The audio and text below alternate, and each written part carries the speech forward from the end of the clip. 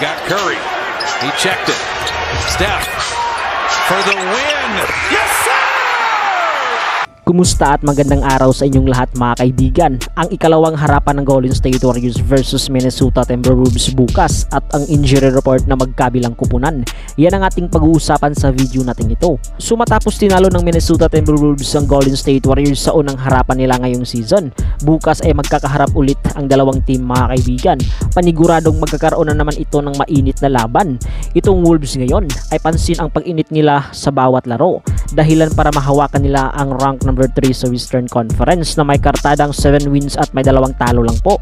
Usap-usapan rin ngayon na ito nga dong si Anthony Edwards ang susunod na Michael Jordan. Will di birong mahusay naman talaga si Edwards pero yun nga kailangan ng consistency para ikumpara ng tuluyan sa isang Michael Jordan.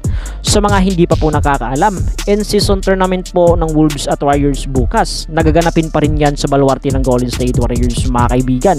Eksaktong 11 ng umaga magsisimula ang nasabing bakbakan sa atin dito sa Pinas. Paniguradong gigil bumawi itong JSW sa Wolves na matatanda ang kinawawa lang sila at naglabas pa ng kanyang angas sa laro itong si Anthony Edwards. Magandang laban to bukas mga kaibigan kaya abangan po nating lahat ito.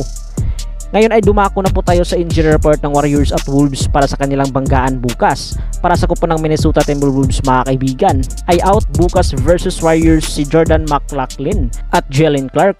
Para sa Golden State Warriors naman ay isang napakasamang balita ito para sa team dahil listed as questionable po si Stephen Curry bukas sa game versus Wolves dahil sa knee injury. Ganun pa man questionable ibig sabihin posibleng maglaro, posibleng hindi. Naku talagang dihado sa laban nitong Warriors kung tuluyang hindi makakapaglaro si Steph bukas dahil kumpleto ang mga core player ng Wolves. Pero tingnan lang natin kung ano ang magiging takbo ng kanilang harapan. Kayo mga kaibigan, anong team ang mananalo dito? I-comment lang po yan sa baba at akin kung mabasahin yan.